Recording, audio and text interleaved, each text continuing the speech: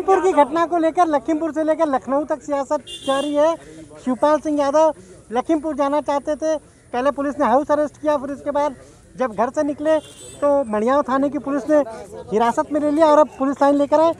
शिवपाल जी, जिस तरीके से पूरी घटना हुई है लखीमपुर में, आप लंबे समय से राजनीति कर रहे हैं, ऐसी घटना क्या कहेंगे? देखिए, लखीमपुर खीरी तुकानिया जो कल नरसंहार हुआ है और जिसमें जानबूझ करके केंद्रीय राज्य मंत्री के बेटे ने शांत तरीके से धरना प्रदर्शन करते हुए किसानों पर जो गाड़ी चढ़ाई है तो वहाँ हम जाना चाह रहे थे। तो पहले तो उन्होंने हमें रात को ही हाउस अरेस्ट कर लिया है। और फिर हम किसी तरीके से पुलिस को चकमा दे करके निकल पड़े। हमारे सभी साथी हमारे साथ थे।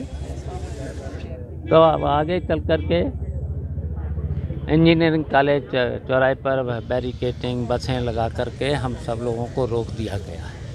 और वहाँ से गिरफ़्तार करके यहाँ पर हम लोग आ गए। तो पहली हमारी मांग है, केंद्रीय राज्य मंत्री को बर्खास्त किया जाए। दूसरी हमारी मांग है उनके बेटे को, जिन्होंने निहत्ते और शांत तरीके से किसानों के ऊपर जो गाड़ियाँ चढ़ा दी हैं, जिससे उनकी हत्या हो गई है। तो गृह मंत्री राज्य मंत्री के लड़के को तुरंत गिरफ़्तार किया जाए। तीसरी हमारी मांग है कि जो मृतक लोग हैं, उनके लोगों को एक एक करोड़ रुपया और परिवार में एक व्यक्ति को नौकरी। और चौथी हमारी मांग है कि इसकी न्यायिक जाँच हो। पांचवी हमारी मांग है कि जो कृषि काला कानून है, उसको वापस लिया जाए। और और छठवीं मांग हमारी, छठवीं मांग हमारी है, जो दोषी हैं इसमें, अधिकारी, कर्मचारी, जो भी दोषी हैं, उनके खिलाफ कड़ी कार्रवाई की जाए। अब इसकी एसटीएफ से जाँच कराने की शासन बात कह रहा है कि इसकी जाँच एसटीएफ करेगी।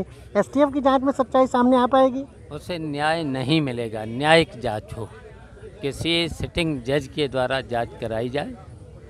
और हम सब लोग प्रगतिशील समाजवादी पार्टी के लोग, जब तक ये काला कानून, कृषि कानून वापस नहीं होगा, और इन जितने भी मृतक लोग हैं उनको जब तक उनके परिवार को जो हमने मांग रखी है उससे पूरी नहीं होगी तब तक प्रगतिशील समाजवादी पार्टी के लोग अब रुकने वाले नहीं हैं।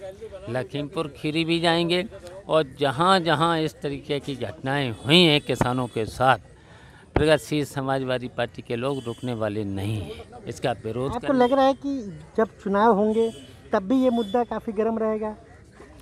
अब ये मुद्दा तो किसानों पर जब अत्याचार हो रहा है, मारे जा रहे हैं किसान तो ये मुद्दा तो फिर हम लोग चलाएँगे। तो ये आपने सुना क्या कहना है? प्रगतिशील समाजवादी पार्टी के राष्ट्रीय अध्यक्ष, विधायक शिवपाल सिंह यादव का साफ़ तौर पर देखिए, अपने समर्थकों के साथ यहाँ पुलिस लाइन में है।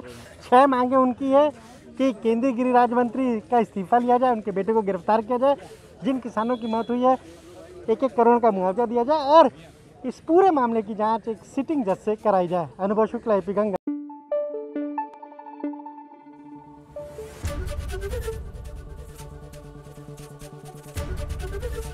एबीपी गंगा, खबर आपकी जुबा आपकी।